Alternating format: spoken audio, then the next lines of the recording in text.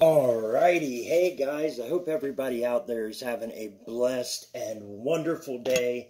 Today we get to look at Second Timothy chapter 4. It's the last chapter in this short little epistle, but uh, I know I have found it really enjoyable to um, reread, and I hope you guys have enjoyed it. I hope maybe you've learned something or pulled something new from it, or at the very least, that it has just fired you up to want to read more on your own. Um, God's word is so nourishing. It is our guiding light. It's the framework against which we live. It is it's God in our hands in a sense. Um, all right, guys, so let's pray and we'll get into this last chapter and what I have to share with you guys over it. And probably, let me talk about this real quick. Probably over the course of the next week, I have got a ton of really long work days ahead of me, helping to get ready for this auction that my family's auction company is handling. And hopefully I'm going to be able to make some new videos over the coming week, but they're probably going to be something a little bit different, something a little bit shorter, or I'm not exactly sure yet. I still want to be able to try to make some new videos, but I know I'm not going to have the typical three to four hour block of time that I need to be able to read and write and put one of these together. So it will be something a little different, hopefully still enjoyable, all right, that out of the way, let me pray and we'll get into this, guys. Heavenly Father, Father God, we just want to come before you today, Lord, and say thank you, Jesus. Thank you for waking me up, Lord.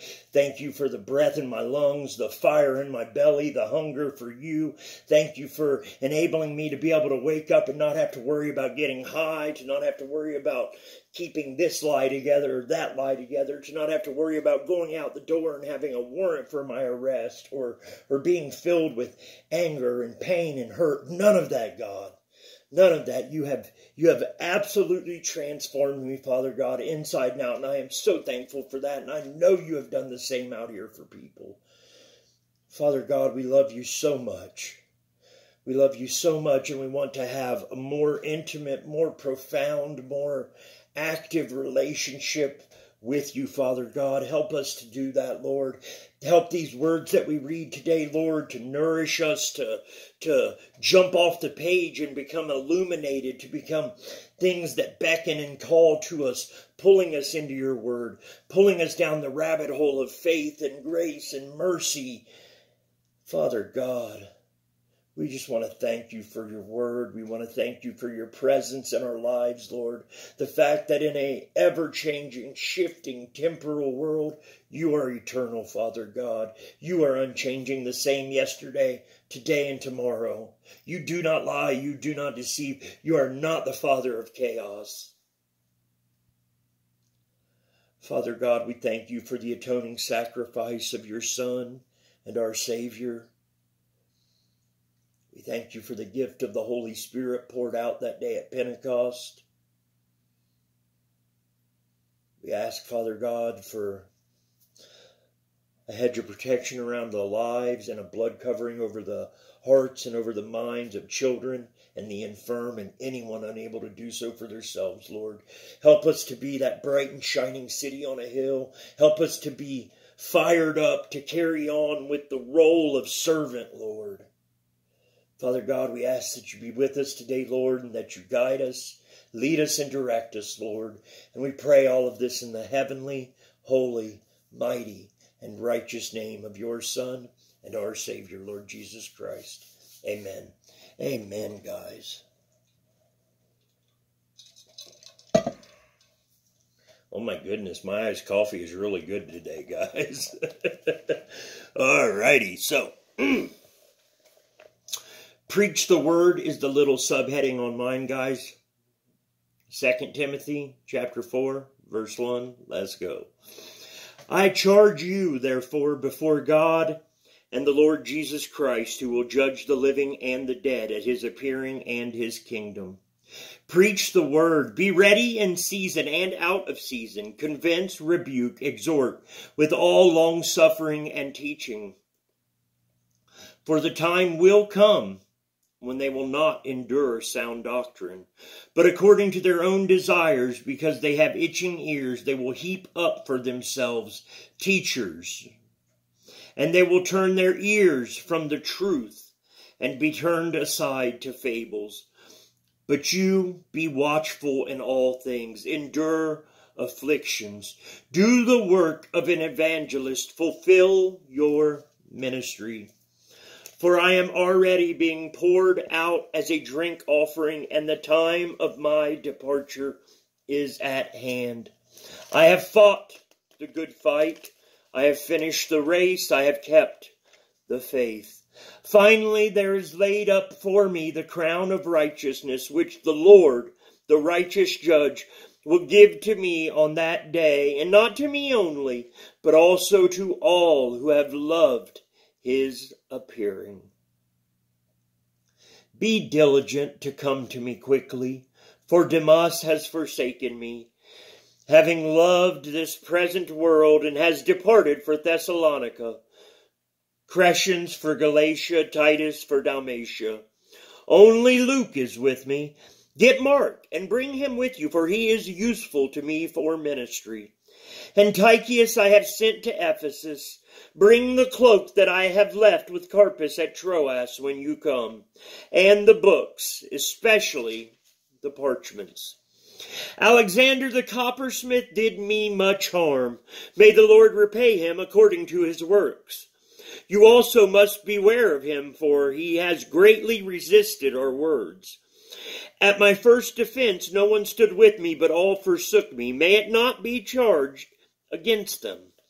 But the Lord stood with me and strengthened me so that the message might be preached fully through me and that all the Gentiles might hear. Also, I was delivered out of the mouth of the lion, and the Lord will deliver me from every evil work and preserve me for his heavenly kingdom. To him be glory forever and ever. Amen. Greet Prisca and Aquila and the household of Onesiphorus. Erastus stayed in Corinth, but Trophimus I have left in Miletus sick. Do your uttermost to come before winter. Eubulus greets you as well as Pudens, Linus, Claudia, and all the brethren. The Lord Jesus Christ be with your spirit. Grace be with you. Amen. So be it and so be it. Right guys? What a what a loving little send off and we're going to talk about um we're going to talk about him wanting him to hurry before winter gets there and and what that what that entails and how kind of really touching and simple and beautiful that is in my opinion. Um Let's jump back here to the beginning of chapter 4, see what I got to share with you guys. First off, as always, thank you for letting me. All right, you lovely souls, I'm Rex. This is Walking in the Word. And that daily bread that we were just blessed with was the fourth and final chapter of Paul's second epistle, his second pastoral letter written to Timothy, his spiritual son, and, next in line to bear the torch of the gospel truth. Now, while we are separated by millennia from the penning of this, Paul still speaks to you and to me as a father, as a offering up a guiding light, as a spiritual father, as we push ahead with our own walks of faith and push ahead ourselves with carrying on in our part in the Great Commission. Recall that this is the last chapter, the final words penned by Paul on his way to leave these earthly confines. He says, we must always come to God's Word, making it a priority of truly penultimate value. By its guidance, the worthwhile is accomplished, and outside of it, outside of Scripture, I ask, what is made that is worth value? What is there? I would argue little to quite probably nothing. Now, before jumping to today's verses, let's look at what the whole letter sort of alludes to, but that chapter 4, verse 7 makes specifically clear. And that is the goal uh, of finishing well, the goal of going out strong. However, we should understand this a very certain way because in our Bibles it's worded, let me read it to you real quickly. I have fought the good fight.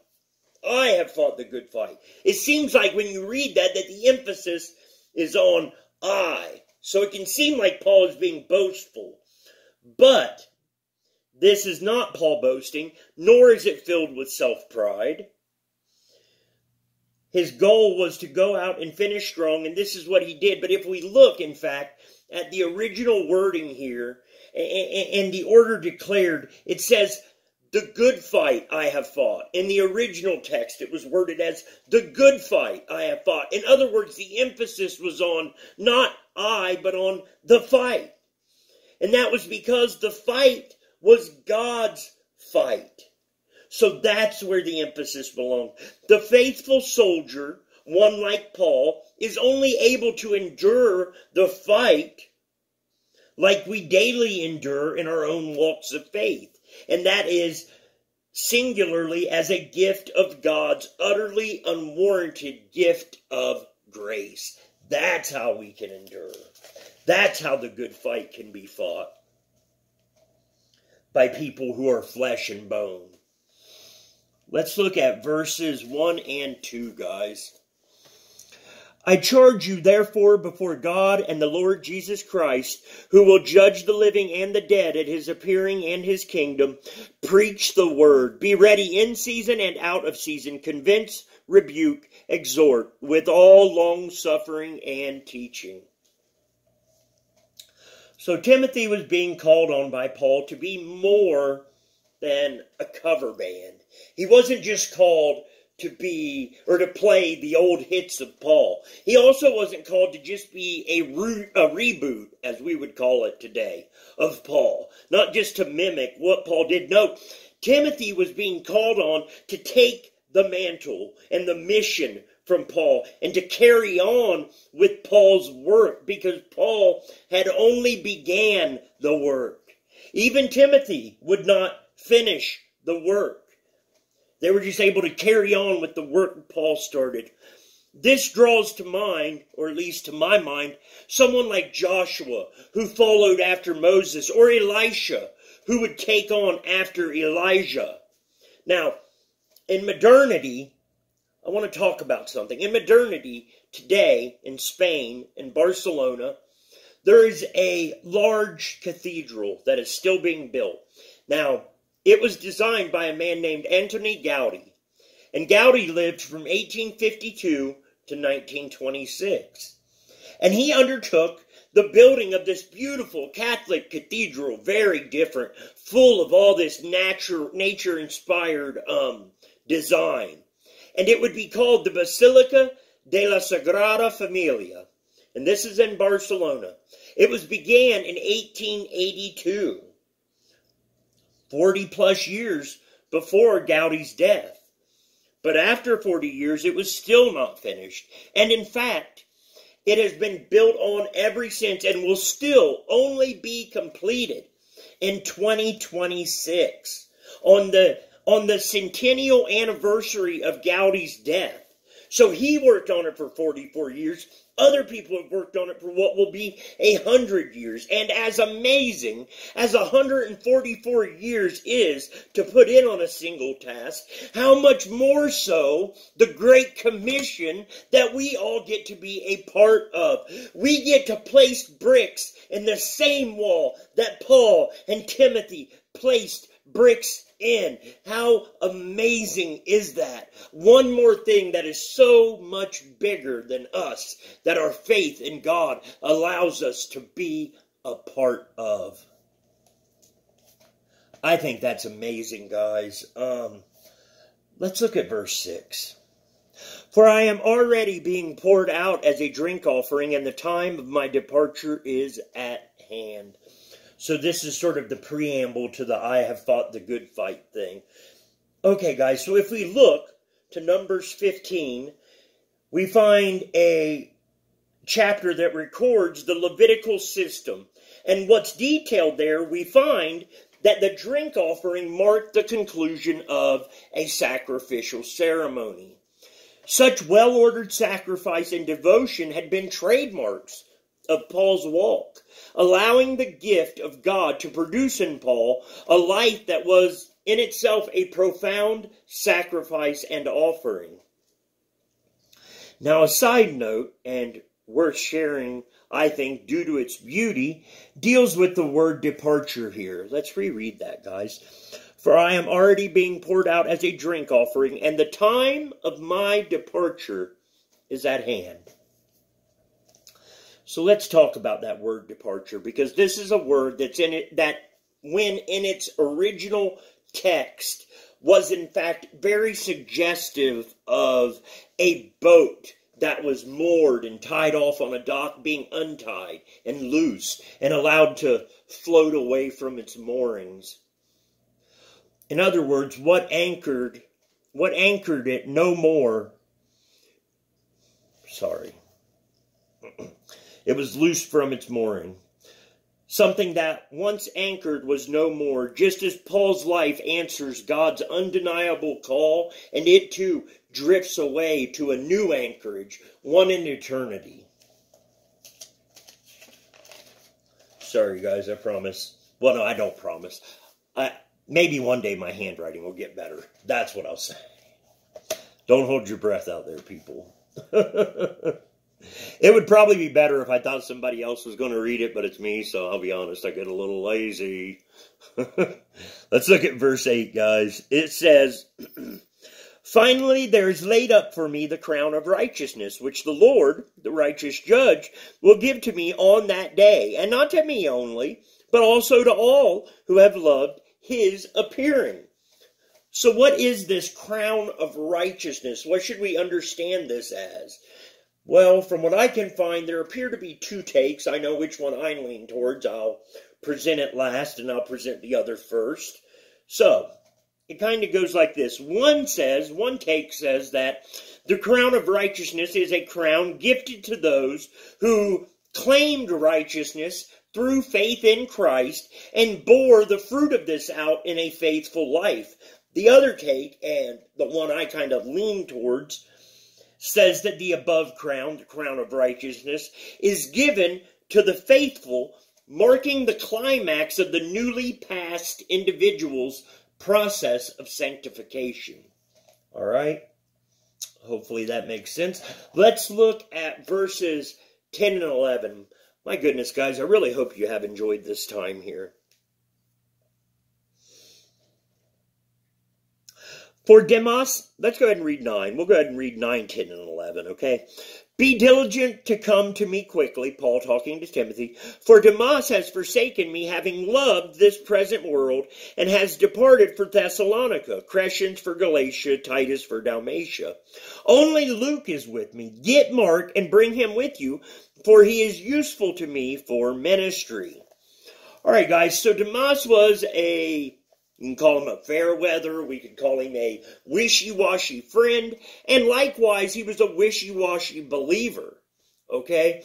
Now, as an example that we can change, we move from Demas to look at Mark. Mark, who Paul had labeled a quitter in Acts chapter 15, verses 37 through 40, and yes, this is the mark of the gospel. Um, Paul had labeled him a quitter, and if you read the situation, somewhat rightly so, due to Mark's poor follow through. But what's important here is that Mark got back on track. Mark rededicated himself, and we can see Christian forgiveness' work here because we see that in Paul's attitude, he is ready to call on Mark.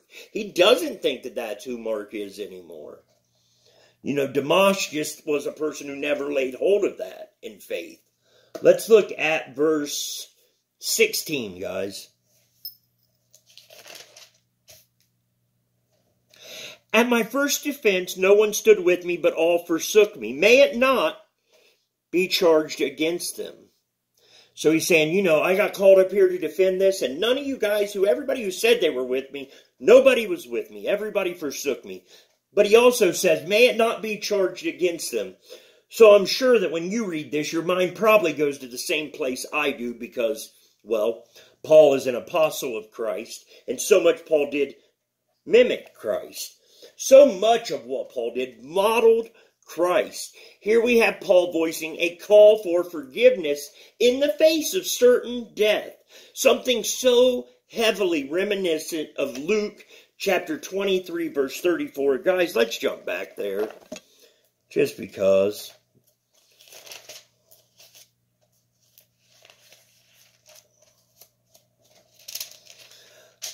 All right, guys. And it reads like this Luke 23 34, and this is Jesus Christ talking. Then Jesus said, as he was upon the cross, Father, forgive them, for they do not know what they do. Okay? Now let's jump to Acts. We're going to jump to Acts real quick. I wasn't planning on jumping to all these, but let's do it real quick. Acts chapter 7, I believe it's verse 60.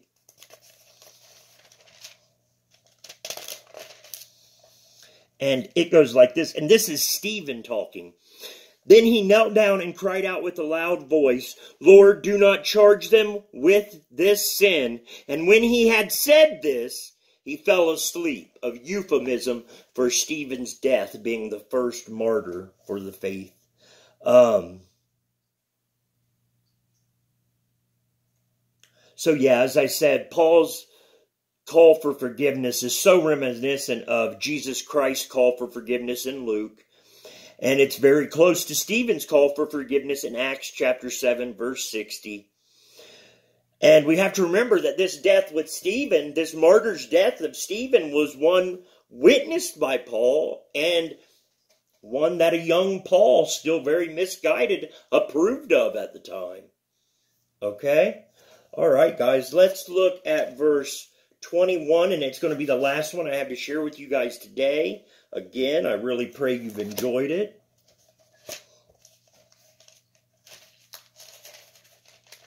All right, guys, and it reads like this.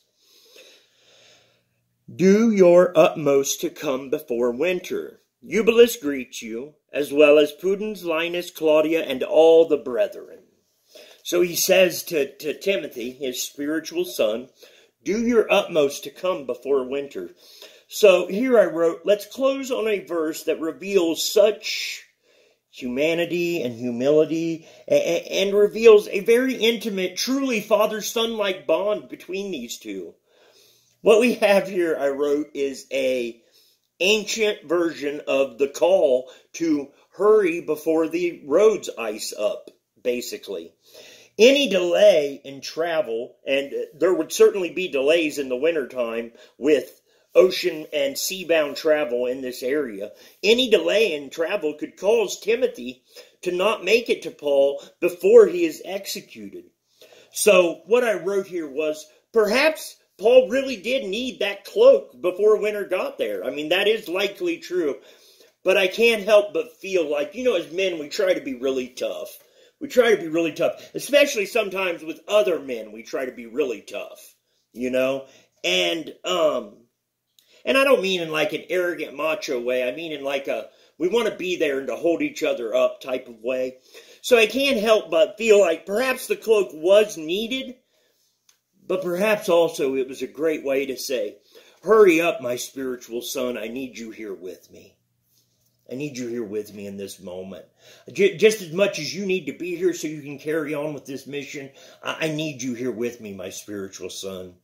I kind of feel like there's a real touch of that in this letter. Um, all right, guys. So I hope you've enjoyed that. Uh, hit subscribe if you haven't already. Why haven't you? Um, I drop a new video like this six days a week, guys, and Father God tells us that he has no greater joy than to know that his children walk in the truth.